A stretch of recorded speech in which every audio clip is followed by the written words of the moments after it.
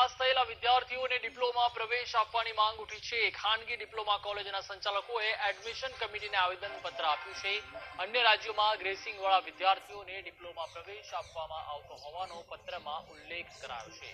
Degree એન્જિનિયરિંગમાં પણ gracing વાળા વિદ્યાર્થીઓને પ્રવેશ મળતો હોવાનો પત્રમાં ઉલ્લેખ કરાયો છે. મહત્વનું છે કે માસ પ્રમોશનમાં ધોરણ દસના એક લાખ એકોતેર હજારથી વધુ વિદ્યાર્થીઓ ગ્રેસિંગથી પાસ થયા છે.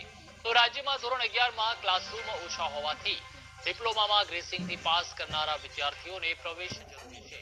ઓલ ઇન્ડિયા ટેકનિકલ કાઉન્સિલે પાંત્રીસ ટકાએ પ્રવેશ માન્ય રાખ્યો છે.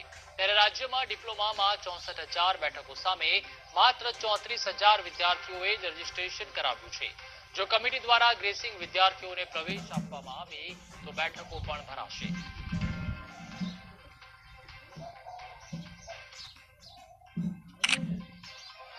વધુ સાથે જોડાઈ ચુક્યા છે. નરેન્દ્ર ધોરણ દસમાં ગ્રેસિંગથી પાસ થયેલા વિદ્યાર્થીઓને ડિપ્લોમામાં પ્રવેશ આપવાની માંગ ઉઠી છે. ખાનગી ડિપ્લોમા કોલેજના સંચાલકોએ એડમિશન કમિટીને આવેદનપત્ર પણ પાઠવ્યું છે.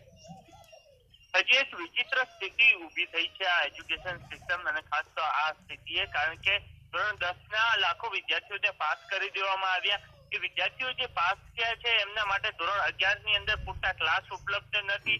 આ સિવાય જ્યાં ક્લાસ ઉપલબ્ધ છે, જ્યાં અભ્યાસ કરી શકે એવી ડિપ્લોમા એન્જિનિયરિંગ કોલેજ છે ત્યાં એમને પ્રવેશ નથી મળી રહ્યો કારણ કે એક નિયમ જે ડિપ્લોમા એડમિશન કમિટી છે એમના દ્વારા એવો નિયમ કરવામાં આવ્યો છે કે જે ગ્રેસિંગ પાસ વિદ્યાર્થીઓ હશે, તેઓ ડિપ્લોમાની અંદર એડમિશન નહીં મેળવી શકે. પરંતુ આવા જે વિદ્યાર્થીઓ છે, એમની સંખ્યા એક લાખ ને પંચોતેર હજાર છે. એટલે કે ખૂબ મોટો જથ્થો ગ્રેસિંગ સાથે ધોરણ દસની અંદર પાસ થયો છે અને આવા વિદ્યાર્થીઓને ડિપ્લોમા એડમિશન મળી શકે એ માટે